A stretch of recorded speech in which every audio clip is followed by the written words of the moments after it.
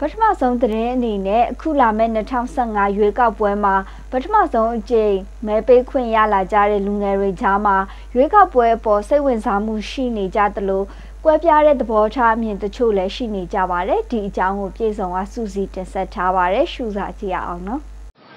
2015ရွေးကောက်ပွဲပြုလုပ်ဖို့ရက်ပေါင်90ကျော်ကြာစက်တင်ဘာလ14ရက်နေ့ကစလို့မဲပေးခွင့်ရှိတဲ့မဲဆန္ဒရှင်စီးရင်တွေကိုတနိုင်ငံလုံးနဲ့နောက်ဆုံးအကြိမ်အနေနဲ့နှစ်ပတ်ကြာထုတ်ပြန်ကြေညာထားပါတယ်။ရွေးကောက်ပွဲကျင်းပမယ့်နိုဝင်ဘာလ10ရက်နေ့အထိတက်18နှစ်ပြည့်ပြီးသူ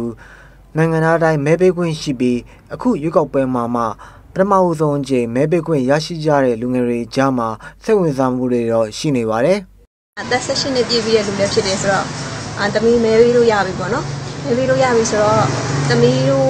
ဒီသမီးတို့နိုင်ငံသမီးတို့ရဲ့ဒေတာမှာပေါ့တကယ်အကျိုးပြုမဲ့ခေါင်းဆောင်ကောင်းမျိုးလည်းလိုချင်တယ်ခေါင်းဆောင်ကောင်းများခေါင်းဆောင်အဲ့လိုခေါင်းဆောင်ကောင်းမျိုးကိုလည်းသမီးတို့မဲပေးမှာပဲလက်ရှိမှာတော့မဲစင်းတွေမှာအရင်ကထက်မဲပေးခွင့်ရှိသူဥယျာဉ်တိုးလာတာတွေရှိသလိုနောက်ဆုံးအချိန်ထုတ်ပြန်ထားတဲ့မဲစင်းမှာလည်းအချက်လက်မှားယွင်းမှုတွေရှိနေစေဖြစ်ပါတယ်။ မဲပေးခွင့်ရရှိလာသူလူငယ်တွေကြားမှာရွေးကောက်ပွဲပေါ်တဘောထားမြင်တွေမျိုးမျိုးရှိနေကြပါတယ်။ပထမဆုံးချိန်မဲပေးရတော့မှဖြစ်တဲ့အတွက်ရင်လည်းရမ်းခုန်မိတယ်။ဒီအခုလက်ရှိအနေနဲ့ဘယ်လိုပြောရလဲအခုလက်ရှိအနေနဲ့အစိုးရတရက်ကိုကျွန်တော်တို့ကကောင်းတဲ့အစိုးရတရက်ကိုရွေးချယ်ပြီးတော့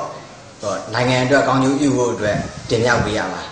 ။အစိုးရဆိုတာလေပြည်သူတွေရဲ့အခွန်ကိုစားနေတာဖြစ်တဲ့အတွက်ပြည်သူတွေကိုအလုပ်ကြီးပြန်ပြုရမှာ။ပြည်သူရဲ့ရှင်းရှင်းပြောရင်ပြည်သူရဲ့အစီအကံတွေပဲ။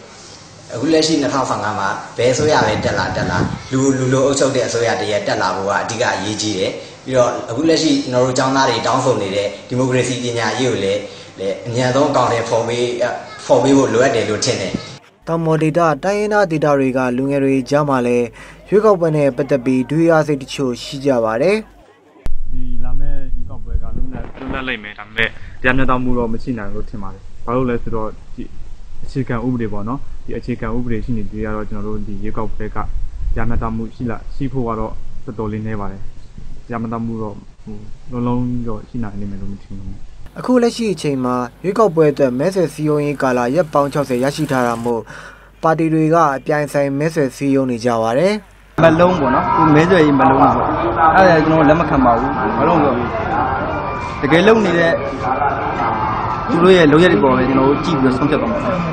ဒါကြီးကျွန်တော်တို့လာပြီးရင်လည်းကျွန်တော်တို့နဲ့စိတ်ဝင်စားဘူးဘာလို့လဲဆိုတော့ဒုက္ခရောက်နေတဲ့လူတယောက်ကိုဓာပေးမှဓာပြန်တောင်းနေဆိုတဲ့အဖြစ်မျိုးတော့ကျွန်တော်လုံးဝမကြိုက်ဘူးကျွန်တော်ကတော့ရှင်းတယ်ကျွန်တော်တို့ဘာမှလာမပေးနဲ့လူမပေးရမှလည်းတော့လက်မခံဘူးကျွန်တော်ဘယ်ပါတီကမှလည်းမဟုတ်ဘူးအဲ့ဒါကျွန်တော်ပေးနေပါတီကိုမဲပေးမှာဒါကျွန်တော်ရဲ့ခံယူချက်ပါ 2015ရွေးကောက်ပွဲမှာနိုင်ငံရေးပါတီ62ပါတီတတိပုဂ္ဂလ323ယောက်ကကိုယ်စားလှယ်ပေါင်း6189ယောက်ဝင်ရောက်ရှင်ပြိုင်ကြတာမို့အရင်2010ရွေးကောက်ပွဲထက်နှစ်ဆတိုးလာပါတယ်2010ရွေးကောက်ပွဲတုန်းကမဲပေးခွင့်ရှိသူ29တန်းထဲကနေ22တန်းကျော်မဲပေးခဲ့ကြပြီးအခု2015ရွေးကောက်ပွဲမှာတော့မဲပေးခွင့်ရှိသူတန်း30ဝန်းကျင်ရှိကြောင်းသိရှိရပါတယ်ခင်ဗျာ။